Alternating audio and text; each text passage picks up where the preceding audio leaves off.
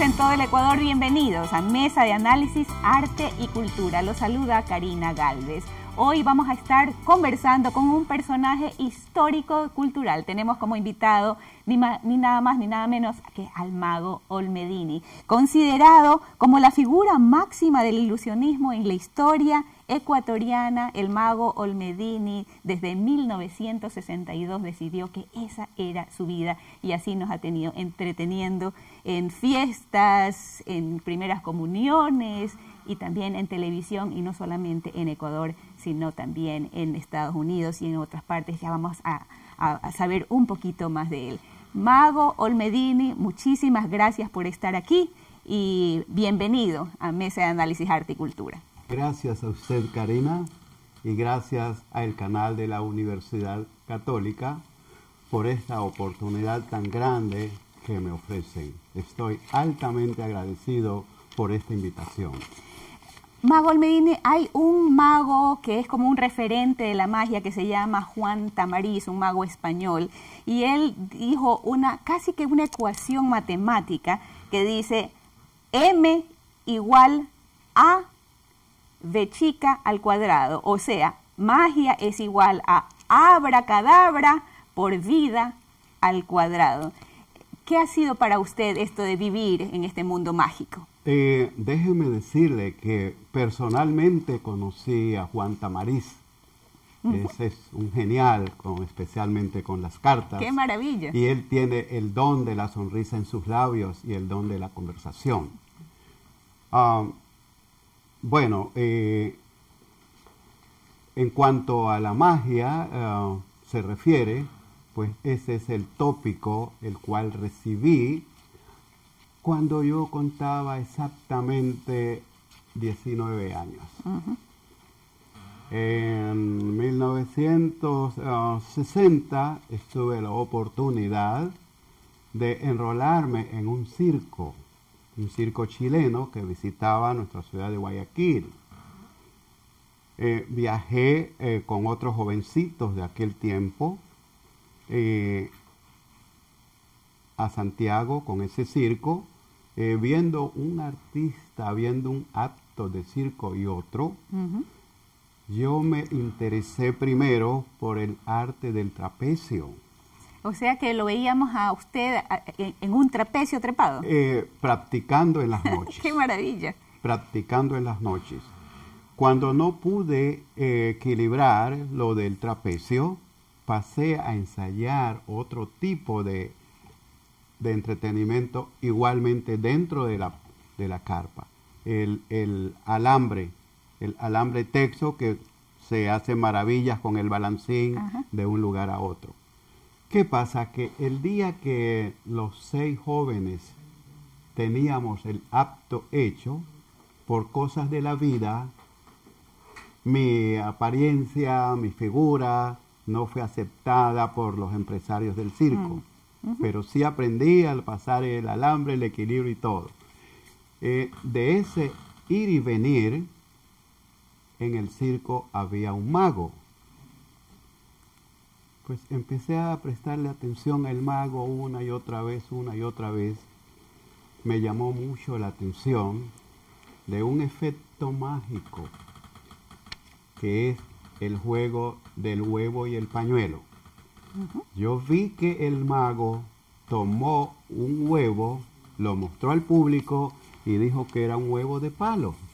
Ajá. Y que ese huevo tenía un orificio o un huequito y que en ese orificio él había insertado un pañuelo. Un pañuelo, o sea que había un truco detrás sí. de, de, de, esa ilusión. Entonces el mago mostró el huevo de esta manera y les dijo, hay un pañuelo dentro, sacó el pañuelo y se veía el orificio. Ajá. Luego insertó el pañuelo a el huevo y toma el huevo un vaso y lo rompe y era un huevo. Era un huevo verdadero, un huevo, un huevo de gallina. Correcto. Nos estamos refiriendo al mago Sanders.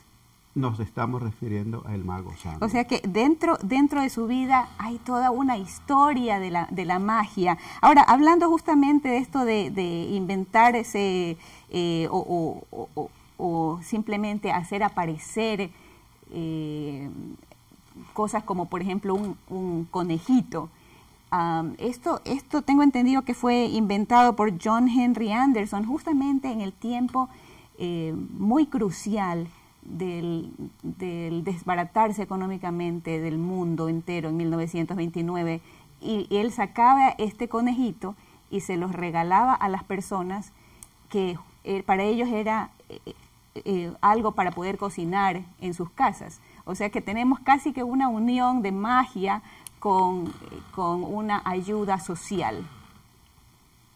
Si no hubiese la ayuda social, los magos no existiríamos, puesto que sin la ayuda social no alcanzaríamos para el sustento cotidiano de cada uno de nosotros.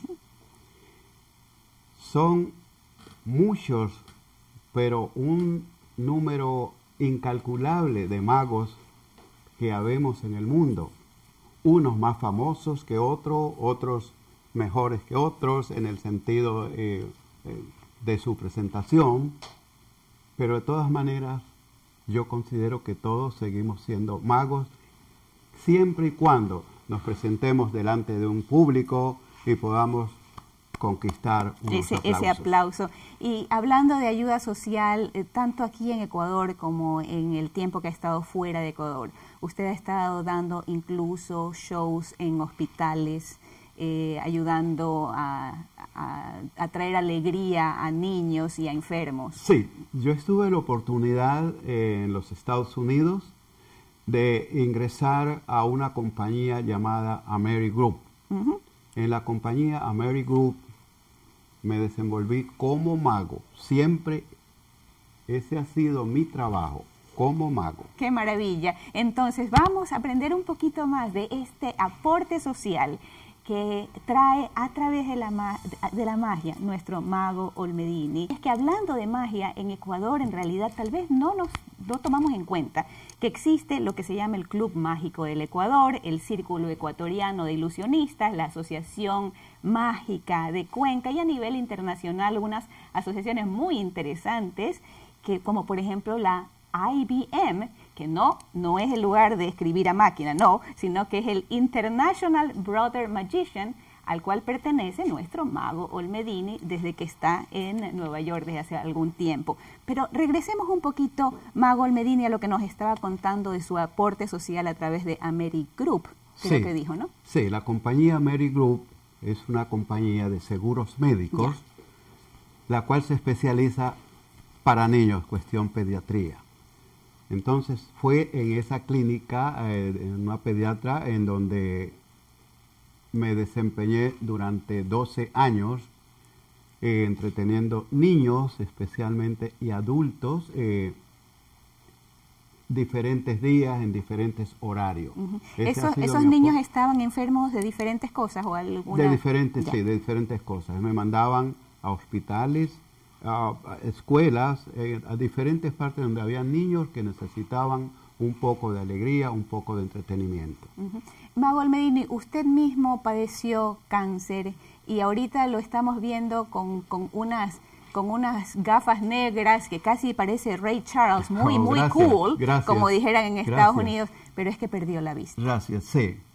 Sí, um, desafortunadamente perdí la vista en el año 2012 exactamente el 6 de febrero. Eh, ¿Cómo puedes saber que fue el 6 de febrero?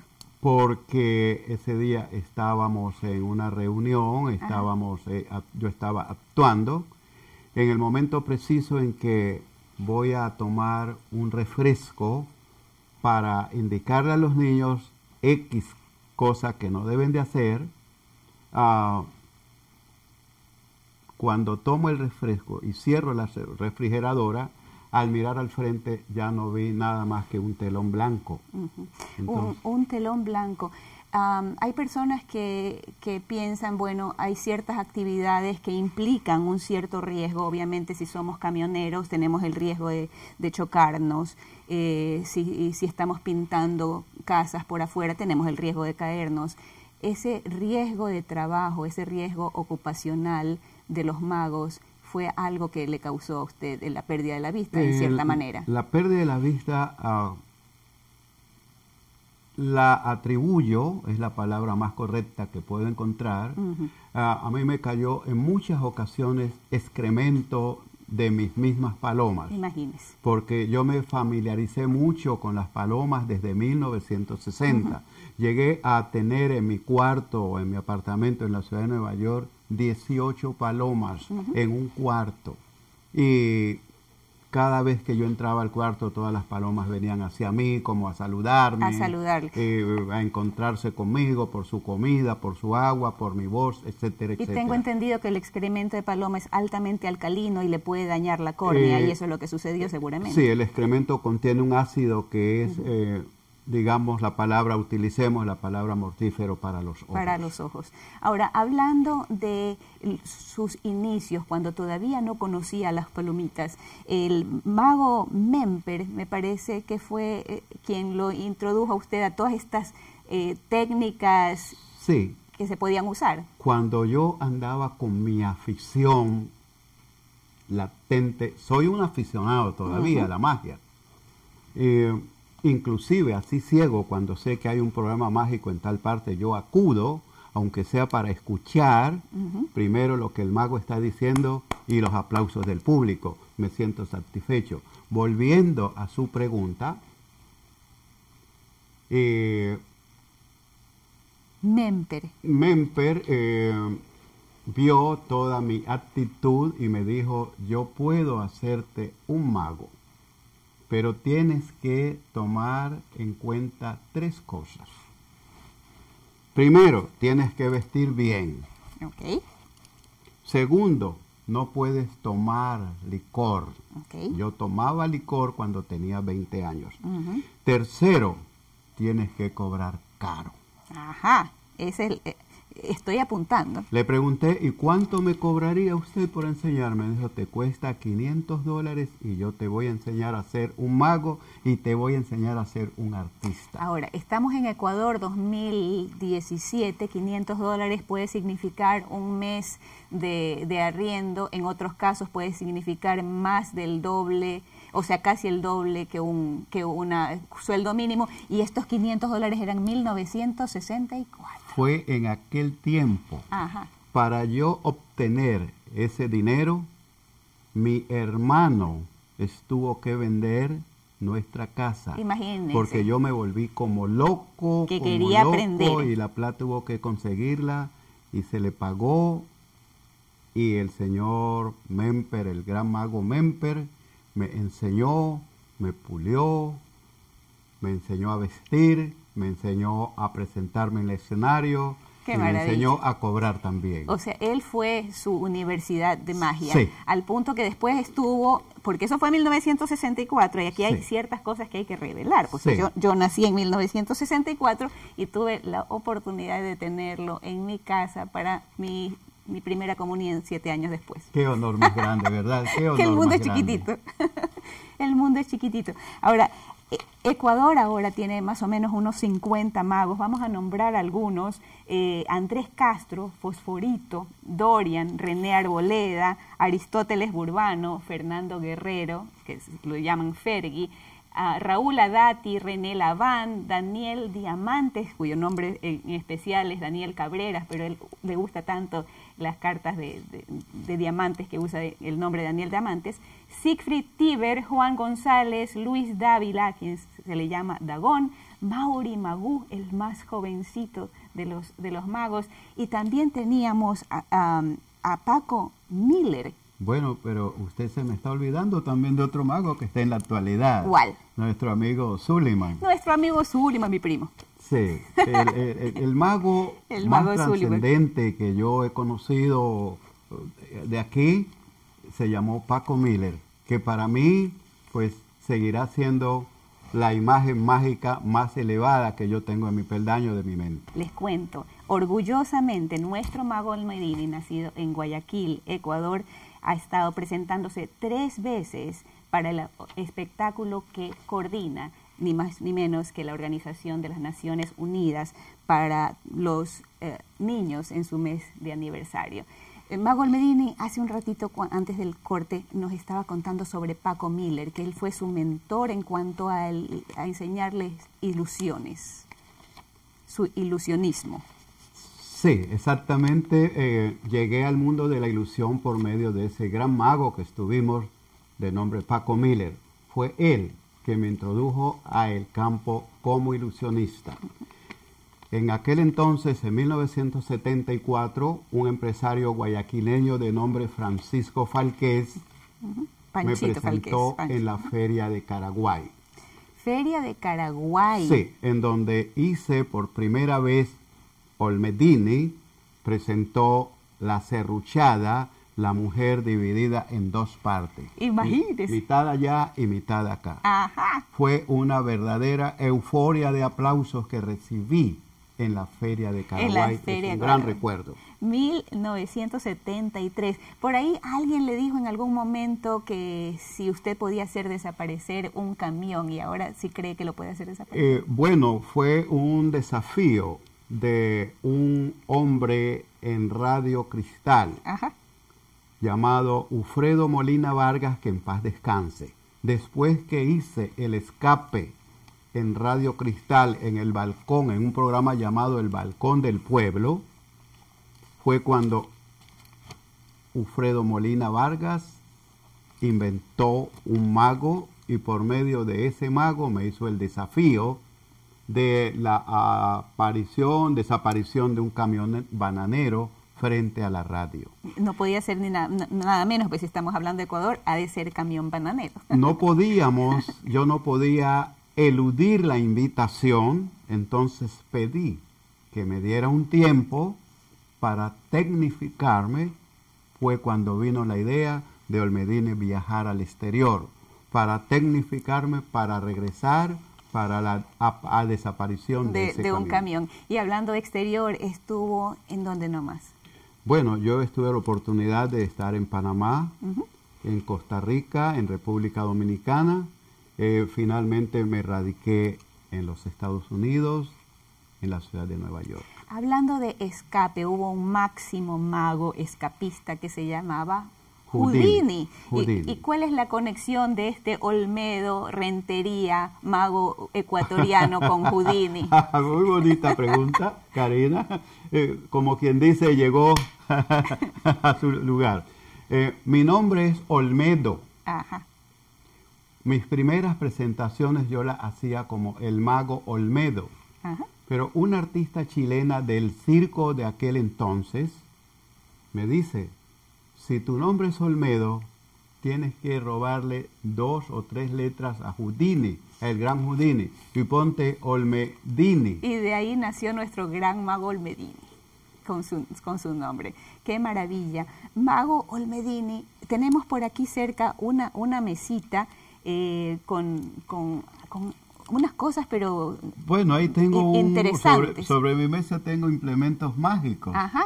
Aquí tengo un, un- un bastón Ok. y otras cosas más. ¿Ya? De manera que creo que en unos breves momentos le haré una pequeña demostración. Qué lindo, justo le iba a pedir a ver si nos puede hacer disfrutar acá en todo Ecuador de, de su magia.